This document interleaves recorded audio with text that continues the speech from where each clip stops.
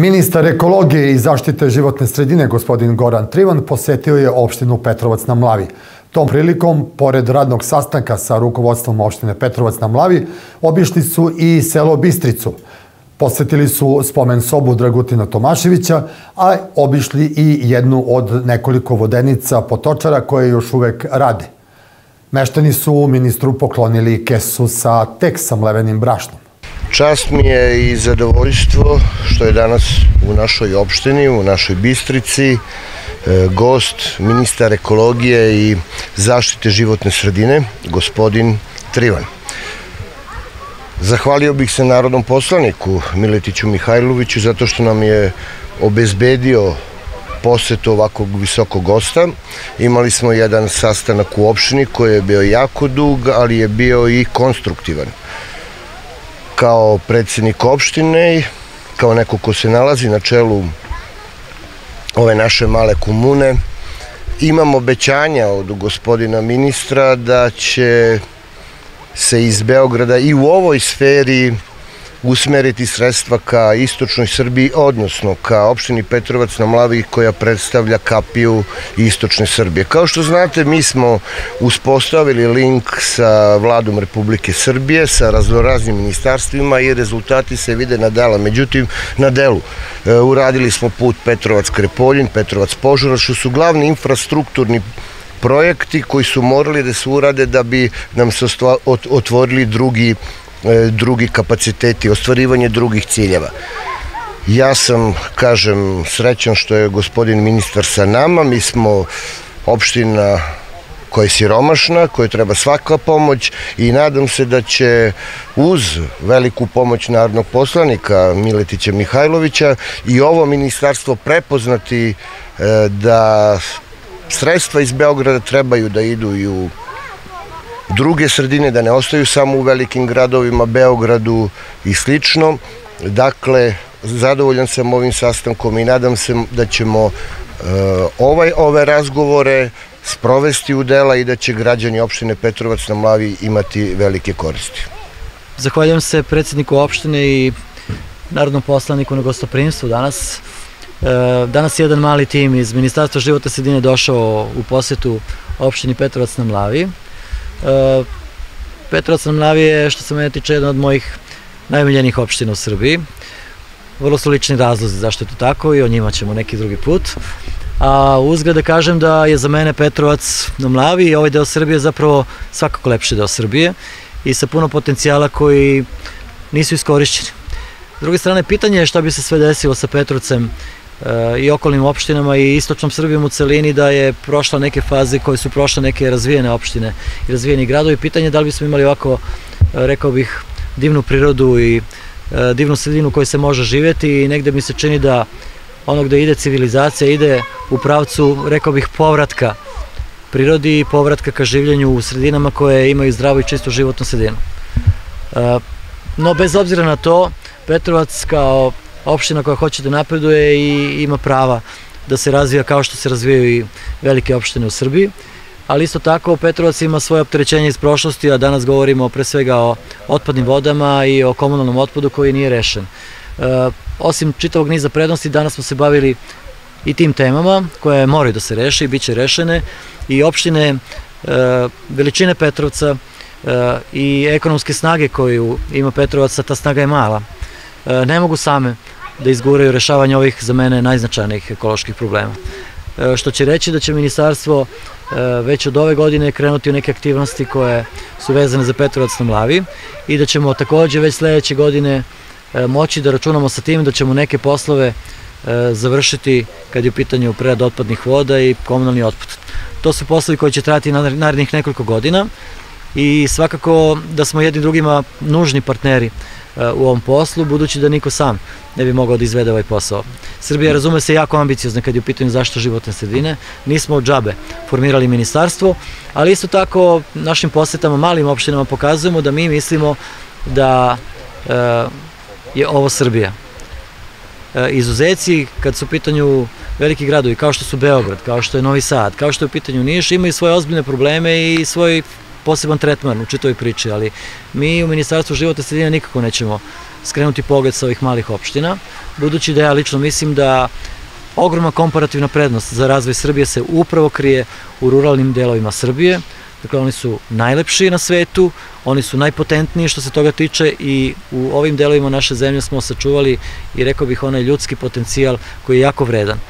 Nemamo dovoljno kapaciteta kada je u pitanju uh, dovoljan broj školovanih, ljudi, bez obzira šta to znači. Ne pričam samo o formalnim školama koje smo završavali. I zato će ministarstvo pomoći i ovako malim sredinama da mogu da dostignu te kapacitete i da kroz to što sada radimo i kroz investiranje koje će se desiti možemo da podignemo deo kapaciteta i da na taj način i mladim ljudima koji dolaze pokažemo da vredi da ostanu u Petrovcu. A ja lično mislim da vredi. Ono što znam o Petrovcu, ono što vidim u Petrovcu i ono što čujem o Petrovcu na ovaj način govori prilog tome da naši mladi ljudi treba da se školuju i da se vraćaju u Petrovac jer će se ovde pojaviti e, mogućnost da se zapošljavaju i da žive jednako kao što mi živimo u Beogradu. Naravno, vi ovde živite sa stanovišta životne sredine bolje nego što mi živimo u Beogradu. Dakle, čistije i zdravije i želo bih da to tako i ostane. Da li će to tako biti ili ne, vidjet ćemo.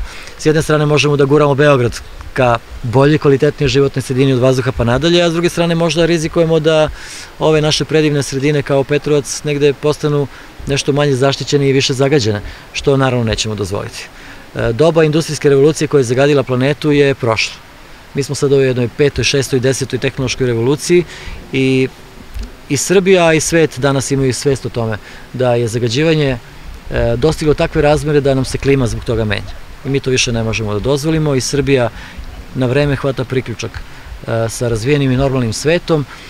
Imamo što da sačuvamo, još uvek imamo razloga da se brinemo za ono što možemo da još uvek sačuvamo i moram da spomenem takođe da pitanje klimatskih promjena je takođe jedna od važnijih tema koju smo danas dotakli ovde. To zvuči kao neka ogromna, velika i nepoznata tema, ali znate, vi ste e, klimatske promjene doživjeli sa poplavama koje ste imali.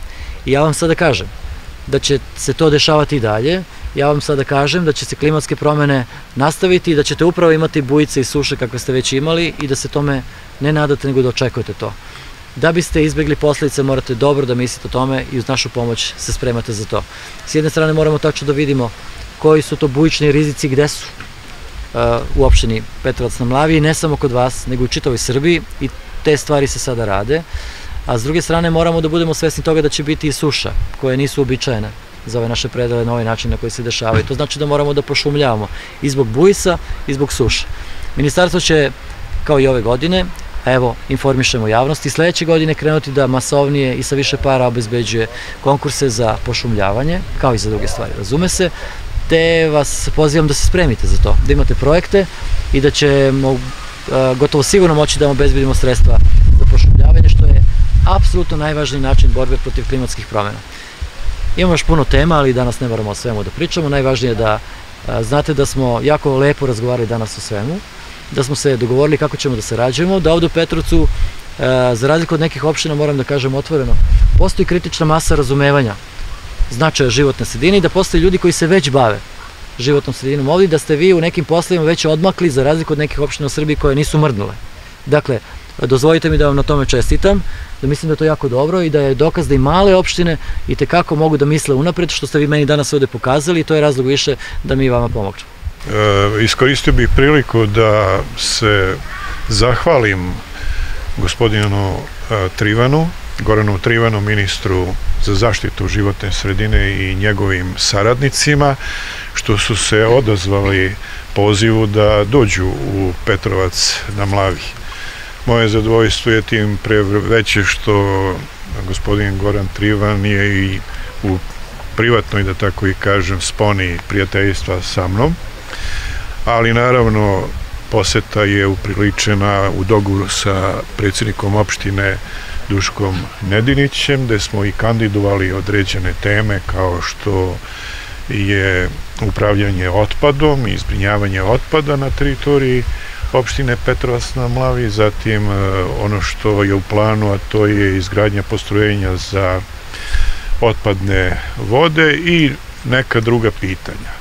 Važno je da smo mi danas zapravo otvorili jedan koridor saradnje i otvorili vrata u ministarstvu i zaista sam puno, puno zadovoljan sa druge strane i zahvalan ministru Goranu Trivanu da je obećao jednu dobru saradnju i neprekinu komunikaciju i mi kao opština, nadam se da će lokalna samuprava sigurno to iskoristiti, da prati sve ono što je potrebno na e, polju priprema i na, na, na onome što su budući projekti kako bi mogli da dobio, dobijemo onu pomoć koju mi nemamo jer nema opština je ipak nerazvijena i kao što je rekao ministar možemo očekivati značajnu finansijsku pomoć od vlade Republike Srbije, od ministarstva i tako dalje. Još jedan puta hvala e, gospodine ministre i vama i,